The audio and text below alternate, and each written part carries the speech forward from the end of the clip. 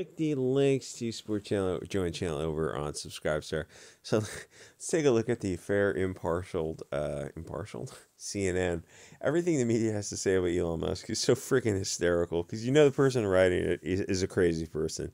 And these these people are um, it's Trump's derangement syndrome, but Elon Musk's derangement syndrome. Honestly, it might even be more than than Musk because it like it, it ties into Twitter, and Twitter for a lot of these people is a, this it's a dopamine as addict addiction as serious as cigarettes.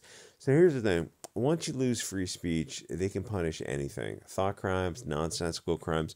It's just to exert influence over you, not to lead. It's kind of like what happened over the past few years with all the health issues there. It's like it seemed like a lot of it was just to sh- to get people comfortable with acquiescing to a master without uh, without doing a whole lot of thinking.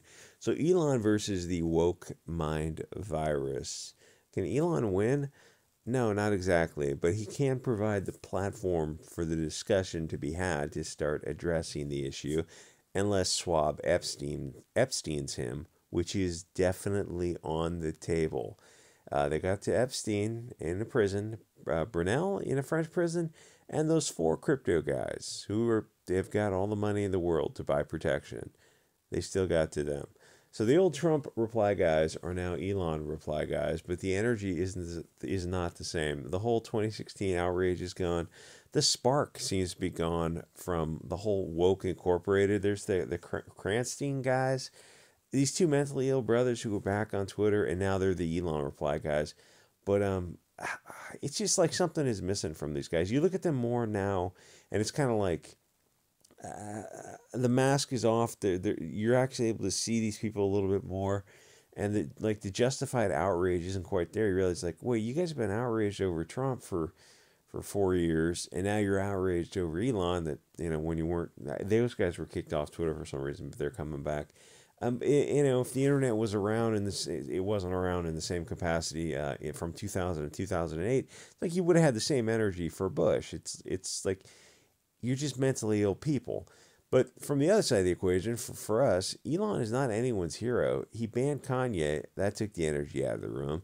People realized that whim and caprice were going to be the rule of the day. That Twitter was not going to be run in a professional manner. It was going to be run by Fiat Vox Day. Even Andrew Torba at Gab has clear rules set up. No prurient interest stuff. Girls in bikinis is the limit no illegal advocacy, and no doxing. So Elon is not a hero. He's just a guy who's going to run and improve Twitter, but unfortunately, not necessarily a professional tw- Twitter. But we got to work with what we have. But uh, Twitter is still a new beast, even with the protected classes. It's going to bring up some issues in America and the West in general. And the umbrella issue is the need for free speech, the understanding that free people don't need masters censoring them you don't have free speech, then you're a slave to those who do control it. That means we need free speech on social media by law, but the extension of that is that we need to be protected from being denied services from companies for opinions online. You effectively don't have free speech if the banks and payment processors, processors can simply stop doing business with you. Yes, individual liberty is more important than a billion dollar company. That should have been something that the left and right can both agree with, except the modern left is not the left of 30 years ago, it's a different beast. Somehow the left is formed in perfect alignment with big tech, NGOs, government, and media. The left is the machine. They never stop to wonder if censorship will ever be used against them. Outside of America, they don't have free speech, and even their codified set of rights is pretty slippery. Their foundational dogma was written at a different time in their country's history, where their countries were fundamentally different. Thanks, 19th Amendment, or whatever their equivalent was. They assumed that they had free speech because they were always allowed to speak freely, but they didn't have free speech de jure. Simple, uh, slowly, restrictions on free speech crept in to accommodate the new changing country. The country changed and they started to lose some of their liberty. Now they discover that they really need free speech and they don't have it. And it's all getting to the believe absurdities, commit atrocities stage of the game. We're using the biologically correct pronouns. We'll get the um, police to your door to investigate a potential hate crime. That's uh, that's what goes on in Europe.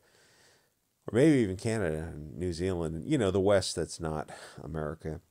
There is actual crime in the street, but the police are not investigating that crime. They're investigating Facebook posts. That's a country that needs a set of free speech laws, as people in Europe are discovering. There are people being investigated for saying that men can't be lesbians. Cultural Marxist political correctness got us to this point. People let little bits of nonsense go unchallenged, and now you've got the libs of TikTok videos where insane teachers are brainwashing kids in schools, and there's very little pushback because parents know that if they go to a school board meeting and speak against this, Twitter communists will simply hound their workplace and get them fired, or Yelp review bomb them if they run their own business. The system as is does not allow anyone to go against the narrative that the media and government are pushing, which would be easy to fix with a law protecting people from being fired for political discrimination. You're going to be waiting a long time if you think our representatives are going to start representing us. There are many things going on, but they can't be discussed because the social media globalists will simply use the system to destroy your life, so only one viewpoint gets pushed. If people were protected from being fired for political, opinions online, well, none of this would have gotten this far. They spent 70 years building the shields, then they start committing atrocities, and the shields are already in place. They use total control of media, social media, and financial institutions to render the Constitution inert. The new freer speech Twitter is allowing all this stuff to be discussed, or almost. As long as you discuss, you still have to be somewhat careful. It's not Gab or 4chan, but um, yeah, it's I can't even describe. It's a whole different. It's a whole different beast for sure. You know, maybe we shouldn't be ruled by big tech and financial institutions. Maybe liberty is more important than big companies' ability to censor us. And you know, maybe the like the founding the founding uh, the fathers like the they go, oh, it's not it's not free speech because we're talking about like uh, constitutional. no, no, no. But I, I know the constitutional. Yes, yes, we get that. We're talking about do you support the principles of free speech? Do you think the principles apply? The individual liberty is more important than a billion dollar company. There's a lot of people on the left who flat out don't want free speech. There's a lot of people in Europe who are scared of free speech, and there's people on the right, the the the MAGA, the some of them, not the MAGA cons, the neocon types. Um, not so much the people, but the leadership. Yes, the you know the Charlie Kirks, those control, all those controlled ops guys. The I don't know everyone who's I don't know uh, you know, you know the names like the Jack Posobiec's and and the the guys the YouTube contingents and and you know you look at them or even anyone in office and you go so you guys you guys support free speech? You guys want free speech? Like, doesn't seem like you're really fighting for that value. Uh, and like you saw what happened when Kanye came out, is like they turned on him instantly. They go, we support free speech, but or they concern trolled him.